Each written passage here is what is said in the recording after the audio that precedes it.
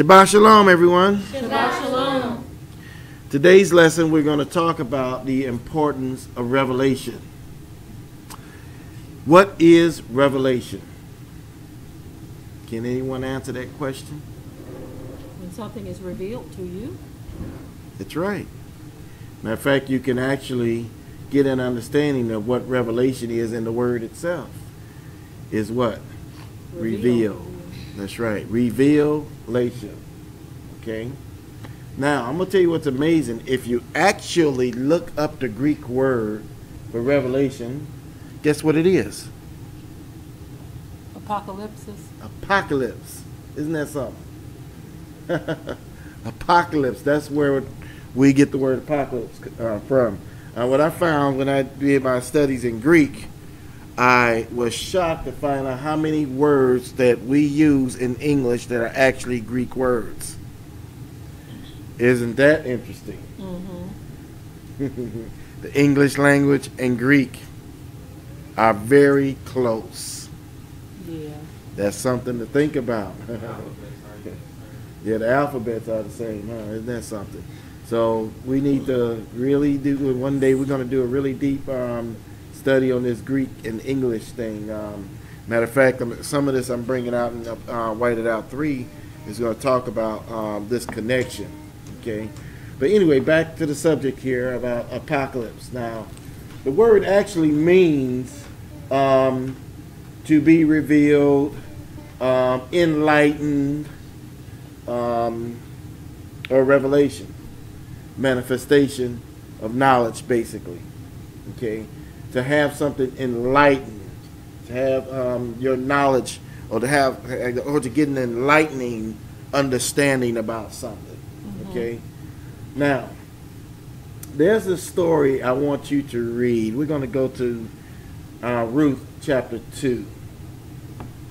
And I'm going to let Deborah, I'm going to let you um, read this. And Naomi had a kinsman of her husband's, a mighty man of wealth, of the family of Elimelech, and his name was Boaz.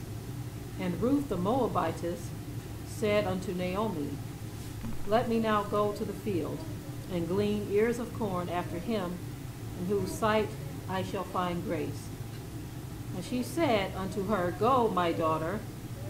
And she went and came, and gleaned in the field after the reapers, and her hap was to light on a part of the field belonging unto Boaz, who was of the kindred of Elimelech.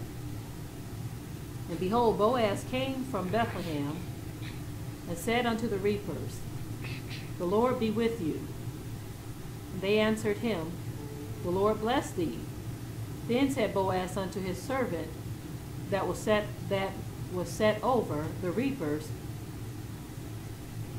Whose damsel is this? And the servant that was set over the reapers answered and said, It is the Moabitish damsel that came back with Naomi out of the country of Moab. And she said, I pray you, let me glean and gather after the reapers among the sheaves. So she came and hath continued even from the morning until now, that she tarry a little in the house. Then said Boaz unto Ruth, Hearest thou not, my daughter? Go not to glean in another field, neither go from hence, but abide here fast by my maidens. Okay. Now, this is a, uh very interesting what I um, want to bring out in this particular um, study. Okay. I want to talk about the fields of Boaz. Okay. The fields of Boaz were just full of corn. They had so many uh, reapers and gleaners that would go out and gather the corn, and then she was all day just gathering, gathering the corn, gathering food. Okay? And the scripture says here she gathered so much. If you look at verse, um, okay, okay, verse 7, it says, And she said, I pray you, let me glean and gather after the reapers among the sheaves. So she came and have continued even from the morning until now. And she tarried a little in the house. See that? She was out in the field. She didn't come in the house hardly, only a little. But her most of the time she spent, she was what? Gathering. Are you getting what I'm saying here? She was gathering in the fields of Boaz. Just gathering. Now you picture this field that's full of all this corn and all these gleaners are out there just gathering and she was out there gathering with with them now i'm going to tell you where i'm going with this okay now according to the scripture okay let's go to daniel chapter 12 verse 4 and Elijah, I'm going to let you read that one. But you, Daniel, close up and seal the words of the scroll until the end of time. Many will go here and there to increase knowledge. Okay. Now, he said, seal up the book, even to the time of end. Many shall run to and fro, and knowledge shall be increased. Okay. This is the time we're in right now where knowledge is increased. This is the field of Boaz. You understand where I'm coming from? This is the field of Boaz right before you, where now knowledge can be greatly increased. But not just knowledge, because the Most High, through the Ruach, is trying to give us a certain knowledge. He's trying to give us a knowledge that's going to cause us to grow in Him. This revelation knowledge, knowledge through revelation we're in that time. The field is before you. Can you see it? The field is before you. There's the ability to get into even the Hebraic scrolls, into the Hebraic language, is now right at your fingertips. I can go back 30 years ago, and it was almost impossible for just anyone to have the Hebrew text right at their hands, like you can have it now.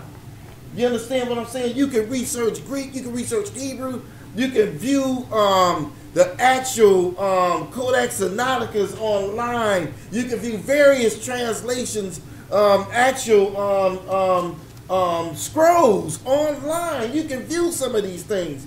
They have the Peshitta that you can view online. They have all of these things that you can actually view now. You can do your research is just different than it was 30 years ago. You didn't have all these things at your hand. You see, so now what are we talking about here? The field of Boaz. All of this knowledge is right at your hand. So what are you going to do? Huh? Are you going to go out in the field and glean? Or are you going to waste time? Huh? You going to waste time in the house? Huh? Waste time playing video games? Waste, waste time on the cell phone, hanging out with your friends. You're going to waste time. Uh, what are you going to do? You see, this is the time now. This is the time. We're at that time. Now, I want you to think about this. This is a time of revelation. Now, what else in the scriptures, the scriptures talk about? Okay, I want you to look at this. Go to Obadiah chapter 1. Um, Deborah, I'm going to have you read it. Obadiah chapter 1, verse 6. How are the things of Esau searched out? How, how are his hidden things sought up? Now, notice the scripture says, How are the things of Esau searched out? How come it didn't say that about um, uh, Moab?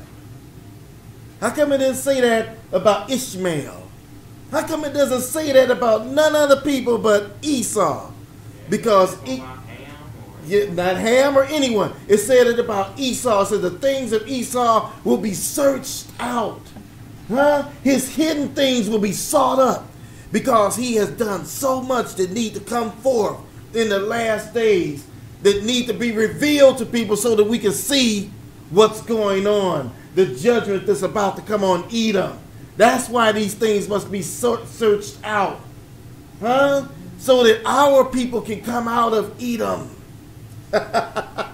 That's why. So now the Most High is trying to give us revelation. He's trying to give us knowledge and understanding. He's trying to give us these things. But there's something that we must do. And I'm going to try to give you an understanding of, of just how important this revelation is. You know, things can be revealed on every subject, okay? About anything. There's a revelation about it. You understand what I'm saying? It can be um, dealing with the Most High. There's a revelation concerning Yehoshua, the Messiah. There's a revelation concerning this world you live in. There's revelations concerning Satan and his demons. There's revelation concerning even yourself. But the one thing that I've learned in this walk is the biggest revelation, even though you get revelation about Yah and about Yehoshua and, and all these other things, it seemed to me that the Most High really pushes revelation about your own self. I found that strange. You know why? He wants you to know about yourself because as long as you work in in um, uh, if, as long as you work as if you have no knowledge about things. You get what I'm saying? Your knowledge and your understanding will allow you to do more. It'll allow you to do more in Yehoshua. It'll allow you to do more in life. It'll allow you to do more in business and anything that you set your hand to do. That knowledge and understanding and that revelation is very important. And it's a revelation about yourself. Now, one thing I learned is this here. The Most High was always in my walk trying to tell me something about myself. I'll never forget the day he came and he told me, he said, you're a mighty man of valor. I was like, me? A mighty man of valor? I was like, I'm just nobody. Uh-huh. This was some 25 years ago. You're a mighty man of valor. So I would sit there and I would, I, I pondered on it. Said, he told me I'm a mighty man of valor. I said, what am I mighty in? I felt like Gideon, you know, like, what am I mighty in? You look around at, this is the problem. We judge reality by the response of our senses, right? And once we are convinced of it, then we abide by those rules. So we'll sit there and we'll say, we look at that reality and we'll say, okay, okay, this is real. So you look at what you don't have and what you can't do, and you judge yourself by that. You understand what I'm saying? With the Most High, He's not looking at those things. He's looking beyond those things because your ability is far greater than what you see when you look in the mirror. Are you understanding me? It's far greater than that. So when the Most High, He looks at you and He sees a mighty man, you look in the mirror and all you see is this little old weak person. And the Most High, He see a battle axe. He see a warrior. You understand what I'm saying? He sees somebody with the potential that could tear Satan's kingdom down. You understand me? One could chase a thousand, two could chase ten thousand. That's what he sees when he looks at you. But who knows?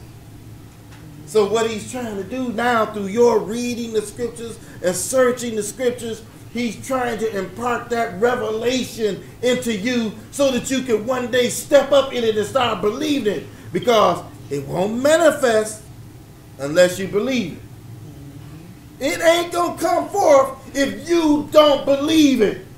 You get it? So that's why he has to go through this process of teaching us things. You're studying while you're studying, and he comes and he reveals something to you, reveal a little bit more to you, then he reveals a little bit more to you, because he's trying to get you to open your eyes and see the big picture.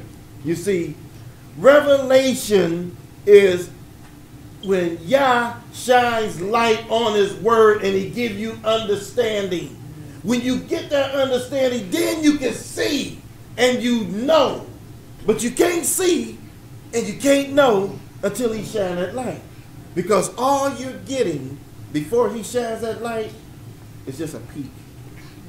That's all you're getting is just a peek. You can read the scriptures from cover to cover and know every word that's in the scriptures, you right? And guess what? You're still only getting a peek. you're only getting a peek. That's because you're looking through a glass darkly.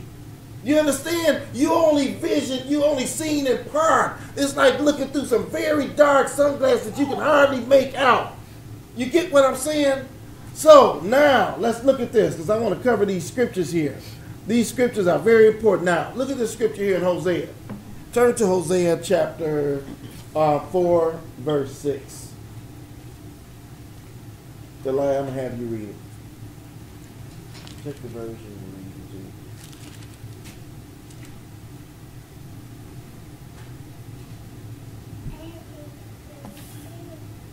My people are destroyed for the lack of knowledge.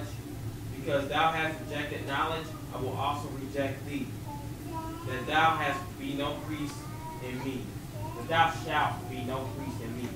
Seeing thou hast forgotten the law of thy God, I will also forget thy children.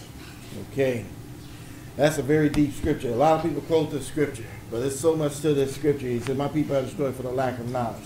Okay. So then a person, well, the lack of knowledge, we're destroyed for the lack of knowledge. Well, let's get in the book. Let's get in the book and let's try to get all this knowledge.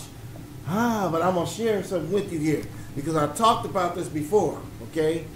We get things a little mixed up here when it says this knowledge here. There's more to it, to this knowledge than just reading the book, okay? More to it, a lot more to it, okay? Now, let me tell you what I mean. Now, we talked about this before. We talked about um, the scriptures when it mentions ever learning and never able to come into the knowledge of the truth. Okay, now, what knowledge was this talking about there? If you're ever learning, what are you learning? Mm-hmm. Aren't you learning knowledge? Mm, that's right. So if you're ever learning knowledge, but never coming into the knowledge of the truth, mm-hmm. it must be two different knowledge then what he's talking about. That's See, right. that's why people think it's so much controversy in, in Shaul's teachings, because they don't understand that some of these things is because of the way it was translated. Mm-hmm. Okay? Now, when Shaul made the statement, he said, he said, knowledge puffeth up. That was the knowledge he was referring to when he says ever learn. They're ever learning what? The knowledge that puffeth up. right. you get it? That's what they're ever learning. Okay? But never coming into the knowledge of the truth, he was talking about epigenosis. So you got the word gnosis and you got epigenosis, which is full discernment. Okay? Now, this full discernment is very important and you can't grow without it. Mm-hmm. Kind of remind me of when one gets out of high school and then they go to college and they spend all this time learning calculus and getting into all these deep concepts about stuff that they're never going to use in their life. Yeah, exactly. And so they, they get older and they say, they say, man, because it's much more to it than just getting that knowledge, and just getting the book knowledge. They were ever learning that, but now apply the concept that you've learned. Apply it now. How can you use it? You know, and they don't know how to Just use Some it. type of technical engineer or. That's right, exactly. So basically, think about what we talk about when we talk about this epigenosis um, coming into the full discernment, okay, which comes through the ruach, gives you this full discernment. He gives you this enlightening. Now, I'm gonna tell you why I'm going here because it's very, very important that we that we get and we understand um, that this that the ruach is going to give us this, and why does he take us there? Now, I want you to go to this scripture here go to um, 1 Corinthians chapter 13, and we're going to look at verse 9.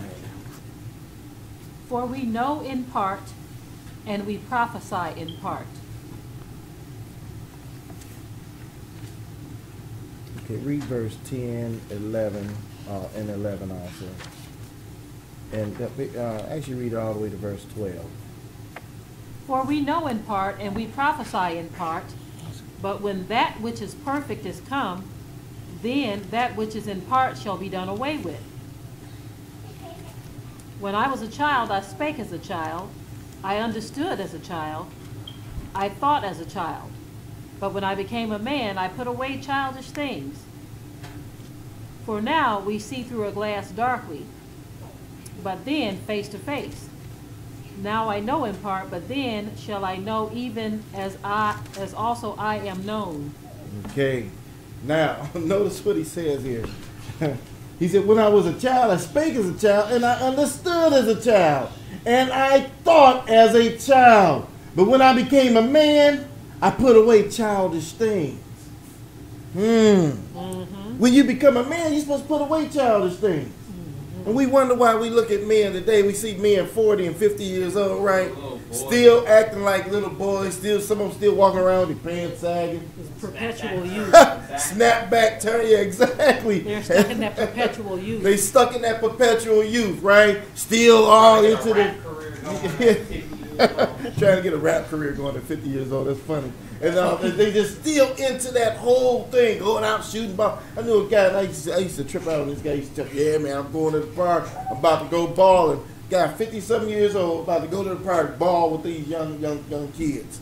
You know, and I'm like, um, you know, I understand if you want to go shoot some basketball, you know, you're trying to keep in shape and all, that's all good. But I'm talking about people who don't seem to be growing up. You're supposed to be growing up. You see? We supposed to grow as people. When we get a certain age, we're supposed to put behind us all those childish things. You see? Another thing I noticed too, like with this new gear, new me crap, like people have been saying that since 2011. Well, they've been saying it since forever, but it's like you don't see any change whatsoever. Yet you said, "Oh, I'm, it's gonna be totally different this year," and you do the same thing. Do the same things. It's, it's cause they just ever learn. See that? Just ever learn. Do the same thing year in, year out. Now look at this here. Now he says here, he says, We know in part, we prophesy in part. But when that which is perfect is come, then that which is in part shall be done away. Now, that simply means the Most High, he, you, you see things in part a lot of times. A lot of things that you read in the scriptures, you're only getting peeks and you're only getting a, a, a peek at what's really there when you're reading the scriptures. But when the Most High come and give you that revelation, then it's like, oh my goodness, now I see beyond just just what the scripture is saying right here. It's more to it than just that. You see? And we get the full revelation, the full discernment of that truth. It's much greater than just reading it. You understand? It's much greater than that. You see? Now notice what he says here. He says, For now we see through a glass darkly, but then face to face. Now I know in part, but then shall I know even as I am known. Okay? So this glass darkly is just like what I was talking about. We're looking through this glass darkly, right? Now, and he says face to face. Now, what is he talking about face to face? Looking at this glass darkly, and he's beholding something face to face. Okay, I'm gonna show you what this is about. Okay, and there's a scripture. I got a scripture. I'll back it up with a scripture. Okay, but there's uh, the word of Yah is like a mirror. Okay, so this mirror, you behold yourself in this mirror, but it's darkly. You see, so you're trying to look at it, you're trying to see what's there, but it's so dark, and so you need the revelation. So the Most High, it's almost like being in a bathroom and the light is out. you look in the mirror, all you want the light out of the bathroom, and there ain't no window in the bathroom, or, or the curtains are, are closed and it's nighttime. You can't see nothing in that mirror. It's like looking in a dark mirror, right? But then the Most High comes and he does what? What is what is revelation? Enlightening. Yes. So he comes and he flips the light on, and now you look at the mirror and you say, oh, wow, I see it. Then the light go back out. Right? Mm-hmm. So when the light go back out, now the Most High say, okay, you remember what you saw? Because I gave you a glimpse. I just gave you a revelation. Do you remember what you saw? Mm-hmm. And when you take those things that you saw in that revelation, that moment, then you take those things, you go meditate on. That's why I say meditate on it. And then what happens? Then you become so much enlightened. You say, man, I remember what I saw. What did you see when you look in the mirror? What did you see? I'll tell you what you saw. You looked in the mirror and it said, Greater is he that is in you than he that is in the world. So when you saw that, you said, Man, I'm greater. What's him that's in me, Yehoshua, that's in me is greater than him that is in the world. Hmm. Right? And then the most I come one day, you in the mirror, you looking again. It's all dark in the room again. He flipped the light on and he show you what? That you are more than a conqueror through him. So you look at it, you saw this conqueror, right? You done looked in the mirror and he shows you some big strong person sitting there with a shield, with a shield and an armor on, with a sword in his hand, looking like a big warrior, right? And then the light go out and then you walk away and say, oh, what did I just see? I forgot what I just I, ju- I forgot what I just saw. And the Most High is trying to reveal to you what you are in Him. Right? Now, sometimes these revelations will take more and more and more to come before you start to walk in it.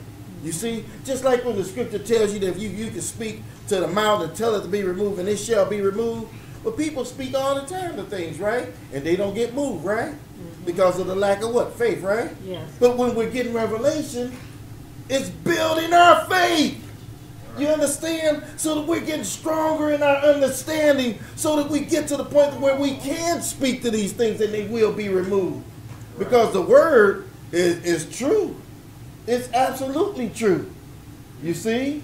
So basically, I want you to understand that this is this. I'm going to take you to the scripture and show you this scripture now. Let's look at this scripture here. Let's go to James chapter 1, verse 23 through 25. And I'm going to let Mama, I'm going to let you read it. You can read it from here, Oh, okay. right there. For if any be a hearer of word and not a doer, he is like unto man beholding his natural face in a glass. For he beholdeth himself and goeth his way, and straightway forgetteth what manner of man he was. But whoso looketh into the perfect law of liberty, and continueth therein, he being not a forgetful hearer, but a doer of the work, this man shall be blessed in his deed. Blessed in his deed. Now, back to what I was saying. See, it's just like looking, beholding yourself in the mirror. So the Most High, He's trying. When you looking at the Word, He's trying to show you you in His in this Word. He's trying to show you you. You understand? Okay, so the Most High. This this is a powerful scripture here because there it is again. When you reading the Word, the Most High is really trying to show you yourself in His Word.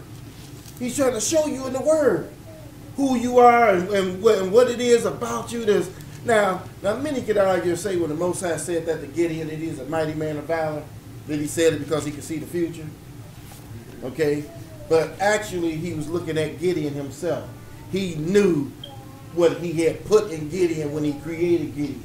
You see, and he knew that Gideon was this man, this mighty man of valor. You see, and the Most High is always trying to tell us that this is what we are. And he, he don't want us walking around feeling weak, feeling defeated all the time. You there is power in you if you have the ruach. Huh? If you have the set apart spirit in you, then you have power. You understand? But who knows it? See? The Most High got to reveal something to you about that power you got in you. He got to reveal to you how to use it. Many people don't know how to swing the sword. You know, they don't know how to swing the sword. Swinging it wrong, be they, they, they, they just swinging it wrong. Some of them ain't even pulled it out the, out the sheet yet, you know, to be able to swing the sword. You see? So basically, there's something to this that you really got to understand. I notice it says that, but whosoever looketh into the perfect law of liberty, and we know that word liberty wasn't there. Okay, that's a, a, um, a translation, translated word. Okay, but basically, when you looketh into the perfect law of liberty, or the Greek word is, I'll get you the Greek word here, the actual word for that. Okay, the Greek word for um, liberty is actually um, freedom. Okay, isn't that interesting? freedom, free Edom. we talk about that on another on another one. But anyway, um, it's being being free in in Yehoshua. Okay, uh, what He has um, blessed you with, and being able to walk in that power. Okay, so when a person actually look into this thing, look into what He has done for them and what He has created in them, then they're able to walk in it. So you can't walk in it if you don't know it. Right. If you don't know it, you just can't walk in it. You, who can walk in being uh, uh, victorious if you still walking around thinking that you defeated? You understand? So something got to change here, right? Got to change here. Because if it don't change here, it ain't going to change here. You get what I'm saying? Are you understanding it? It ain't going to change physically if you don't change it up here. Okay? Which leads me to this next scripture I want you to look at. Now let's go to 2 Corinthians chapter 3, verse 18. Now I'm going to read this one here. And this is what it says. But we all, with, with open face, beholding in a glass. Uh oh, here it is again. Beholding in a glass the glory of Yehoshua. Huh? Beholding his glory in a glass. What do you mean by beholding it in a glass? Are you seeing what I'm saying, what, what I'm trying to show you here? Now, think about what I'm telling you here. Now, if you got the Ruach and you got the set apart spirit, right? When you go look in the mirror, you're beholding the glory of Yah in you. Are you seeing it? You've been holding the glory of Yah in you. All that power is in you. If you got the Ruach, it's right there in you. But who knows it? So that's why he has to keep giving you these revelations, keep giving you understanding. Then it says what? Our change. It says, get this here. Now it says, open, behold, in the open, in uh, open face, beholding in a glass the glory of Yehoshua are changed into the same image from glory to glory. You see that? Changed into the same image by revelation. And I'm going to prove to you that it's through revelation. Okay? Now, there were some scriptures I came across a few years ago. And when I saw these scriptures, I kept getting them mixed up. I kept saying, wait a minute, isn't that the. I kept saying, man, it, it must be another scripture because these three scriptures sound just alike. But the Most High, what he was trying to what he was trying to do was he was putting the puzzle together for me. Pretty deep puzzle too. but when he was putting this puzzle together, at first I would remember one of the scriptures, and then one time I came across another, and guess what? They're not together. Okay? So I know we, we like to read the scriptures line upon line, precept upon precept, so we don't miss anything. Okay? But sometimes the Most High have pieces way over here and way over there, even in different books. You get what I'm saying? And sometimes he'll give you one and you'll remember it. And then one day you'll look, you say, oh, that's the missing piece. It was almost as if they should have been written together. The, this piece I'm going to show you here. So now, let's look at this. Let's go to Corinthians. This is Second Corinthians because it's, it's very important that you understand what's going on here. Okay. When we came to the Most High and we receive his Ruach, okay, the set apart spirit, something happened to us. Okay? But what happened? Our old man, which is our old self, our old nature, was crucified with Yahushua. Okay? Our old nature. So we have the old nature, and what happens? Then there comes the new nature. So he crucifies the old nature so that the new man could come forth. Kills the old man so that the new man could come forth. We are buried with him by baptism into his death. That's what Shaul was talking about. Okay? Now, this new man and old man transition, the old man to the new man transition, many of us are clueless to what's going on here. But the power of it is incredible. It will be incredible in your life. Okay? Now, let's look at this scripture here. And let's go to 2 Corinthians chapter 4, verse 16. Deborah, I'm going to have you read it. For which cause we faint not, but though our outward man perish, yet the inward man is renewed day by day. Now, okay. Okay. It says here, for which cause we faint not, but though our outward man perish, that's the old man. The inward man, the new man, is renewed how? Day, by, day. He's renewed day by day. Okay? So every single day he has to be renewed. Okay? But how is he renewed? Now, I'm gonna give you another scripture, and I will tell you it, seemed like these scriptures should have been right close to each other. They all should have been close to each other. Let's go to the next one here and keep that one up so you can I may have you read it again, okay? Let's go to the next one. The next one is Ephesians chapter 4 verse 22 through 24. Deborah, you can read that one. That ye put off concerning the former conversation the old man, which is corrupt according to the deceitful lust, and be renewed in the spirit of your mind, and that ye put on the new man, which after God is created in righteousness and true holiness. Okay. Now, it says that you put off the former conversation of the old man. and then we talking about the old man, new man, right?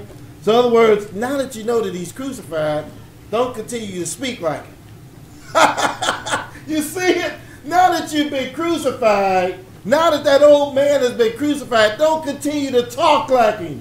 Don't continue to speak like him. Why? Because the old man is weak. Huh? He's weaker than the new man. You get it? That old man, that old you likes to complain, right? He don't like to speak powerful against his circumstances. He's a weak person. It's the new man that speaks to the mountain, right? So now that's what the Most High is trying to get you to understand. You have to put off the former conversation of the old man, right? Now, let's keep reading. Which is corrupt according to deceitful lust. Then he says what? And be renewed where? In the spirit, Spirit of your mind. in the spirit of your mind, he's telling you to be renewed. Now, remember the last verse we read? It was in a totally different book. It says, though the outward man perish, the inward man is renewed how? Day by day. Day by day. Where? In the spirit of his mind. You see the two? See how they come together? In the spirit of your mind, right? Now, then it says what here? And that ye put on the new man, which after Yah is created in righteousness and true holiness. So this is some it's like putting on a garment. You understand me? That's what this is like. You pull off that old garment, you put on a new garment. This is exactly what this is like. You understand me? So that's what the Most High is trying to show you here. He wants you to see this thing. He wants you to get what's being said. Now, there's one more verse because this verse is gonna is gonna bring that piece together. Now, let's look at this last verse. Okay, the next one is Colossians chapter three, verse nine and ten. I'm gonna have you read that one too. Lie not one to another, seeing that ye have put off the old man with his deeds, and have put on the new man, which is renewed in knowledge after the image of him that created him. Whoa, did you hear that? it just brought it all together. Do you see how it brought it all together? So now, what are you talking about here, Paul? Because they were in different books. So when people reading it, they're not getting all the puzzles. That's why I take the Ruach to bring this stuff together so you understand it, okay? Let's look at this in depth now and see what he's talking about here. Okay, let's look at this.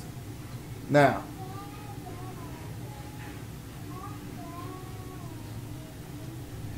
Now, this is what it says. Lie not one another, seeing that ye have put off the old man. So notice it says, you have put off the old man. So in other words, if you in Yehoshua and you are filled with the Ruach, you have put off the old man, right? And it says, and they have put and have put on the new man, which is renewed in knowledge after the image of him that created him. He's renewed how? In knowledge. Now, let's bring these three verses together. What do you have? Huh?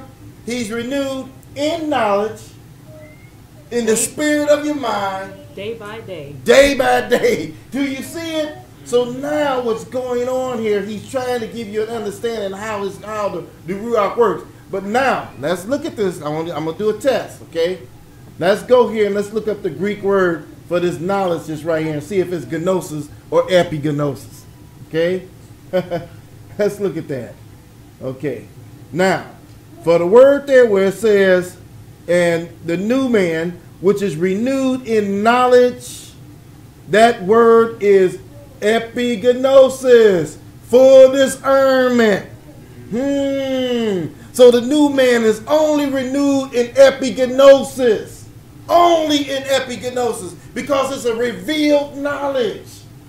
Huh? It's a revealed knowledge from the Most High revealing things to you. Don't you know you can't grow? Let, let me let me share something with you real quickly and think about what I'm saying here. You can have a person They can read the scriptures from cover to cover, right? And have read it from cover to cover for years.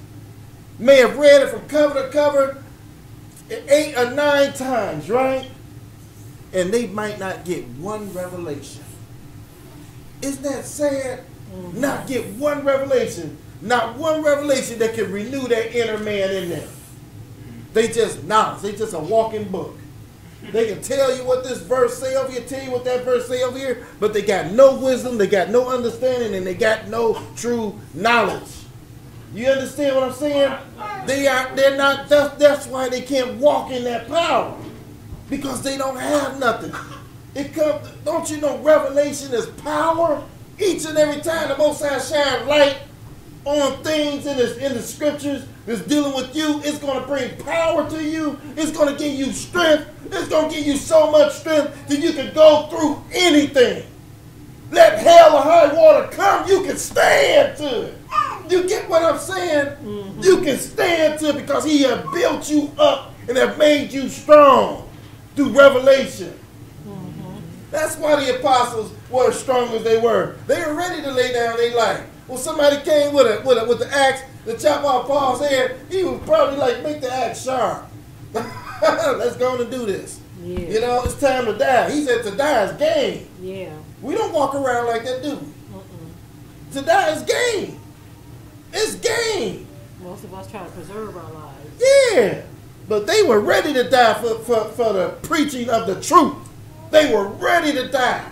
You understand me? They were ready to die. And I'm putting this word out there and I don't care who don't like it. I'm ready to die for it. You understand? Because they were built up in their spirit with strength, with spiritual strength. Like you wouldn't have, like you couldn't imagine. Now you know what's amazing? That's why it's important that we get these revelations. Because as long as you keep looking, you go you go look in the mirror and you keep seeing that weak man there, the most high want to show you what's really there.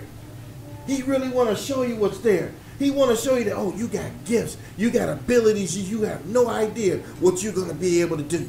You know, you're gonna be a mighty man. You're gonna be able to tear down Satan's kingdom. Huh? I'm gonna send you forth. You, yeah, you. You like me? Yeah, you. I'm gonna have you gonna fight Satan's kingdom. Don't you know there's so many warriors walking around here who just don't know it? Huh? Just don't know it. You know what I see sometimes? This is what I see. Imagine this. Okay? Imagine if you looked out and you saw this big, tall, strong brother. Okay? Muscles like this. And he's sitting there with an armor on and got a sword on the side, right? Huh? then all of a sudden, all these little bitty men just come just beating him up, slapping him around, knocking him around. He, oh, oh, little bitty short old men come just smack him, bam.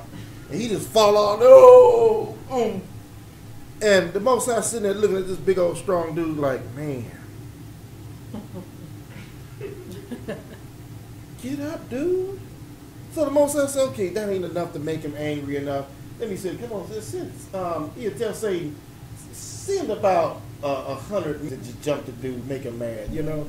The hundred of them come, they jump all on him, you know what I'm saying? And that's what it's like. They come jump all on him and, and all oh, this, and he, oh, they smacking him, beating him down. And he's like, Most High sitting there looking at him like, man, this dude, you got on an armor, you got a shield, you got a sword, you got all this stuff, and I made you big and strong. Why you letting them beat you down like that?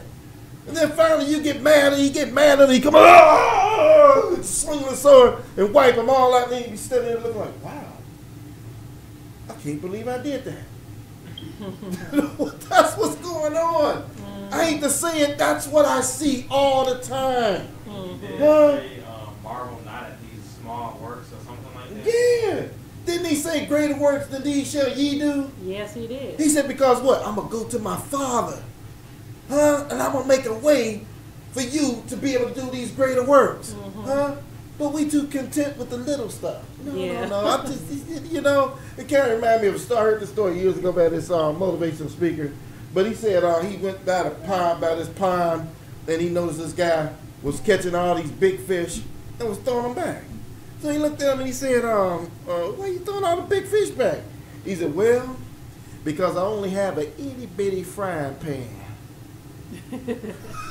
So I gotta catch itty bitty fish. So he got to catch little fish because he got a little old frying pan. He throwing all the big fish back. You know, at least cut the big fish up. you know what I mean? Nitwit. But man, that's the point that I'm trying to make here. We are too small in our thinkings. We're too small as it relates to y'all and what y'all y'all want to do some major things in your life.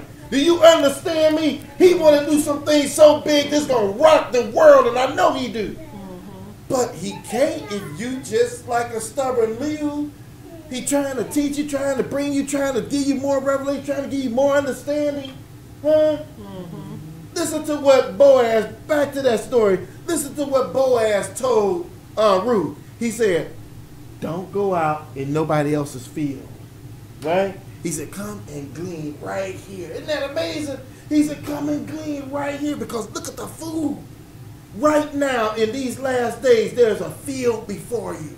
Mm-hmm. And he's trying to get you to come on, glean. Look at the scriptures, right? It said, Do not wisdom cry, huh? From the Yes. mountaintops. She's just crying, Oh, ye simple ones, oh, ye simple ones, come on, come to me. I'll give you wisdom. And the mm-hmm. simple ones don't want it. They don't want it. Wisdom cried. She just cried, and nobody wanted. Fools love simplicity. Yeah, fools love simplicity. You understand? So the Most High, he, he said, come on, get- hey, don't go into no other field. Here's a field I got for you. And that's what he's going to do. He's going to take you to a field, and he's going to present to you all this food. And he wants you to gobble this food up. Just gobble it up. Get it all. Gather. Glean all day there. You understand what I'm saying? Get revelation and get knowledge. Seek him for more. Pray and, and for goodness sake, fast. Okay? I love to eat. My, my, my wife will tell you, I, I love to sit down to a nice um, uh, meat meal with some uh, baked chicken or something like the curry chicken. And yeah, I love some curry goat, you know, or, or something like that. I love to sit back, but guess what? I love to fast too. I enjoy fasting because when you when you go on a fast, the Most High start revealing things to you right away. Sometimes y'all only make it to the third day sometimes before the Most High start to reveal something to me. You understand? So I want you to understand that we have to do all of these things, but we gotta understand that that new man must be renewed day by day in epignosis. Now, I'm gonna lay something on you, and I want you to get this before I close, right? Now, if the new man needs to be nourished day by day in epignosis, and you're not getting it, well then guess what's going on with your new man? He's dying. He's dying. He's starving. Are you getting it? He is starving. Huh? Because he must be renewed in epignosis day by day. That's why it's important that you meditate. When the Most High give you some, go and meditate because now you're feeding that new man and he's getting built up. You understand?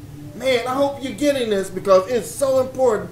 These are, the, and I'm giving you these teachings because these are some of the things that have made such a huge change in our life. Me and Deborah, yeah, it has made a huge change in our life.